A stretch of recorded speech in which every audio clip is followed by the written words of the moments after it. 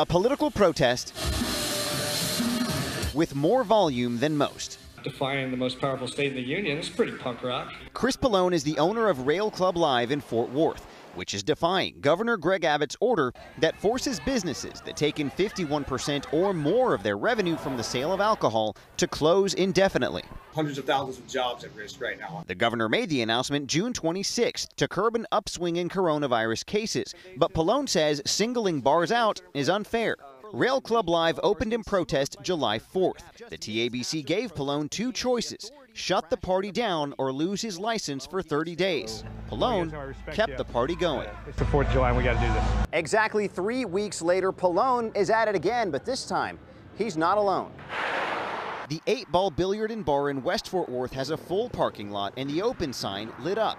There's also a Freedom Fest banner over the door in solidarity with a statewide protest Pollone spearheaded.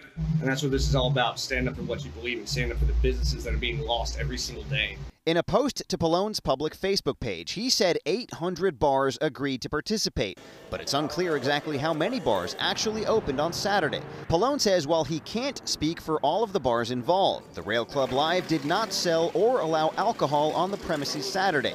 The staff limited the protest to 40 people inside. Temperatures were taken at the door and masks were mandatory. Trying to do this safely and responsibly.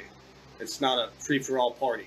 Despite the precautions, Pollone says he could face an even longer suspension for opening up a second time, and a third could cost him his license for good. This is what America's all about right here. Stand up for what you believe in, win or lose. In Fort Worth, I'm Eric Alvarez.